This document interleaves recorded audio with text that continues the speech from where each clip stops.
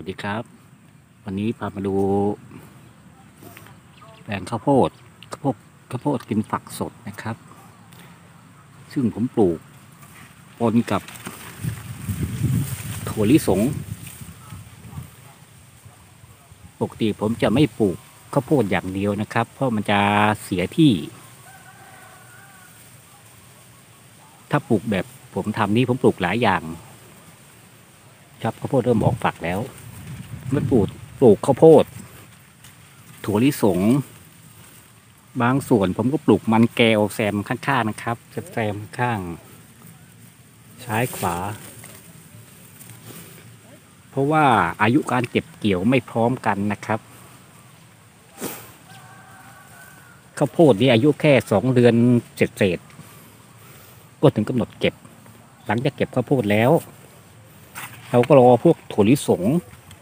มันแก้ว เก็บครั้งต่อไป เพราะว่าถั่วลิสงกับมันแก้วเนี่ยอายุเก็บเกี่ยวประมาณสักสี่เดือนนะครับสี่เดือนใกล้เคียงกัน แล้วเราสามารถใช้ประโยชน์ใช้พื้นที่พื้นที่ใช้สอยได้มากที่สุดนะครับ ได้ประโยชน์สูงสุด ส่วนวัชพืชนี้ก็ ใช้วิธีกำจัดโดยการถอนการถาก ก็ทำไปเรื่อยๆนะครับ นะครับถั่วลิสงกำลัง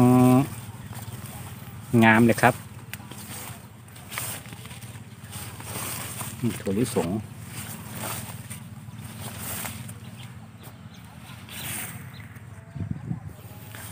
ปลูกถั่วลิสงผมก็มีปัญหาอย่างหนึ่งนะครับ ไม่ทราบว่าเป็นสาเหตุอะไร ใบเขาจะหงิก บางส่วนใบเขาหงิก ใบเขาหุบนี่นะครับ ไม่รู้เป็นสาเหตุอะไร ก็ผมแก้ไม่ได้นะครับ ผมก็ฉีดยาฆ่าแมลงทั่วไป บางครั้งก็ใช้ยาแก้เชื้อรามาก็ไม่หายนะครับเลยปล่อยไปงั้นแหละ ไม่รู้จะทำยังไง นี่ฝั่งนี้ก็ เม็ดข้าวโพดมันหมดนะครับเมื่อไรไปซื้อมาอีกก็เลย ลงถั่วลิสงเพียวๆไปเลย ครับฝั่งนี้ไม่มีปัญหา โรคแมลงไม่มีใบก็สวยงามปกติ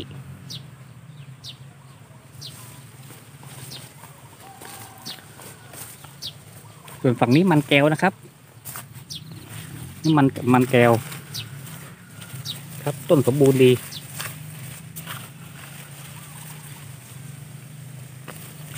ครับ โอเค มันแก้วก็สมบูรณ์ดี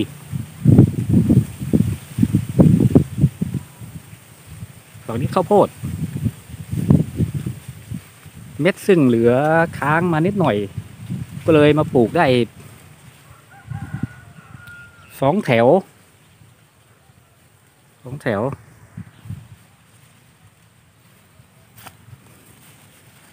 มันแก้วสวยงามมากครับ เจริญเติบโตดี ก็มีครับมีผักเสี้ยนมางอกแซมผมก็ปล่อย ปล่อยให้เขาเม็ดเขาร่วงสุก ให้เขางอกมาใหม่ ไปทำเป็นผักเสี้ยนดองครับ อร่อยดี ก็เขาไม่ไม่รบกวนกันมากเขาอยู่ด้วยกันเขาเกื้อกูลกัน ก็ปล่อยไปงั้นเลยครับ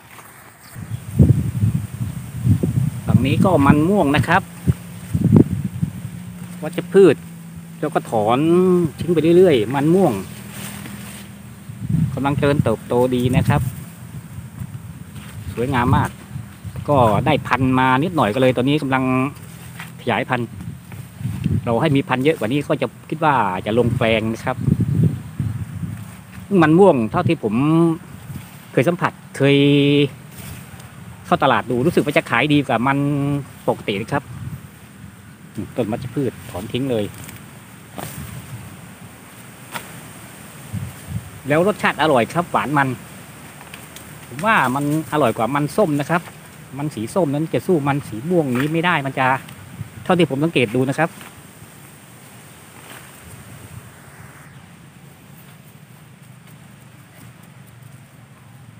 นี่ก็ข้าวข้าวโพดรุ่นถัดมานะครับ ซึ่งกำลังเจริญเติบโต ผมปลูก โดยใช้ข้าวโพดพันธุ์ สวีทไ i โอเลตนะครับ ซื้อมาหนึ่งกิโลผมแบ่งปลูกเป็นสามรุ่นนะครับ เพราะถ้าปลูกรุ่นเดียว มันจะดูแลไม่ทัน ผมเลยทยอยปลูกแบ่งเป็นสามรุ่น รุ่นนี้รุ่นสองนะครับ รุ่นนี้รุ่นสองก็ดูใบก็เขียวสด การเจริญเติบโตก็อยู่ในขั้นดีนะครับ บางส่วนก็ดอกก็เริ่มออกบางส่วนแล้วส่วนข้างใต้ต้นนี่ก็ถั่วลิสงเหมือนเดิมนะครับ ส่วนด้านนี้ ใต้ต้นข้าวโพดผมก็ปลูกมันแก้วนะครับ นี่ครับ ยังไม่โตเท่าไหร่ ก็มีวัชพืชแซมอยู่เลยแซมมาเรื่อยๆ ต้องพยายามทยอยกำจัด ไม่งั้นมันแก้วของเราจะไม่โตนะครับ ทุกครั้งที่ผมปลูกข้าวโพด ผมจะใช้ลักษณะนี้ ผมจะไม่ปลูกข้าวโพดเดียวๆ ผมมักจะปลูกแซมกับพืชอย่างอื่น เช่นถั่วลิสงมันแก้ว หรือไม่ก็เป็นผักกาดนี่ครับเขาเริ่มเริ่มโตมาแล้ว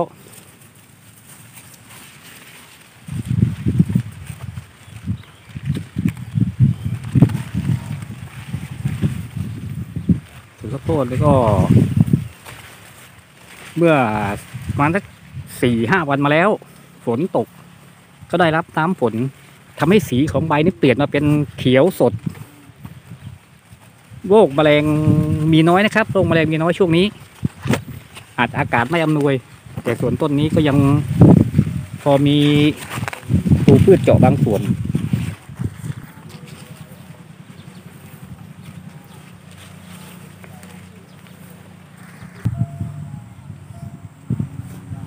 ด้านนี้ก็ข้าวโพดรุ่นสามนะครับ ผมปลูกแซมด้วยหัวไชเท้า นี่ครับโอ้เริ่มลงแล้ว มาสักปลายนิ้วก้อย ก็จะพืชเยอะไปหน่อย ดูแลไม่ทัน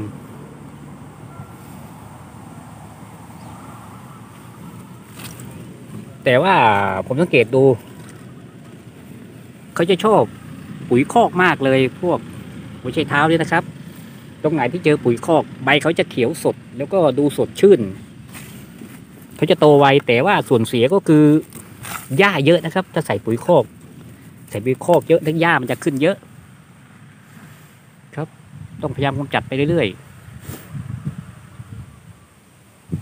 ๆ ครับสำหรับวันนี้ก็มีแค่นี้นะครับ